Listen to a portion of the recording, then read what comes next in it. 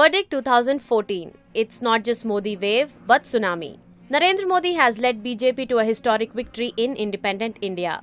If the latest leads are of any indication, the BJP led National Democratic Alliance is set to win as many as 338 seats. And the BJP on its own winning 283 seats is a record by any standards. As in the past, it was Atal Bihari Vajpayee who gave the first ever biggest win by getting 182 seats.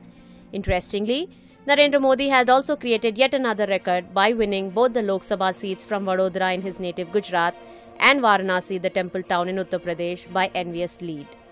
No sooner he was declared elected, Narendra Modi called on his septuagenarian mother and sought her blessing. It was followed by an announcement from the party headquarters that the swearing in ceremony was scheduled for Narendra Modi on May 21st. He will be sworn in as 14th Prime Minister of India. The Modi wave, in fact, threw aside a number of Congress big guns, including 10 ministers like Sushil Kumar Shinde, Sachin Pilot, Veerappa Moily, Salman Khurshid, Kapil Sibal, Ajay Maken, M.M. Pallam Raju, and Sri Prakash Jaiswal, besides Speaker Meera Kumar.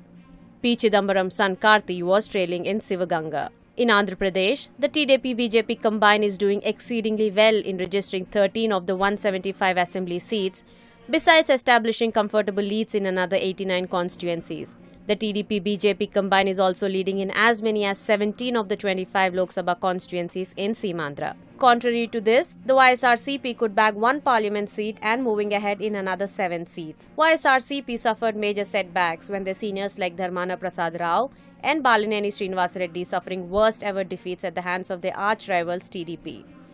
Even the YSRCP honorary president YS Vijayamma is trailing in Vishakhapatnam Lok Sabha against the BJP candidate K. Haribabu. TRS in New Telangana state has established comfortable leads in as many as 11 of the 17 Lok Sabha seats and set to get an absolute majority in the 119 strong assembly. Stay tuned for more.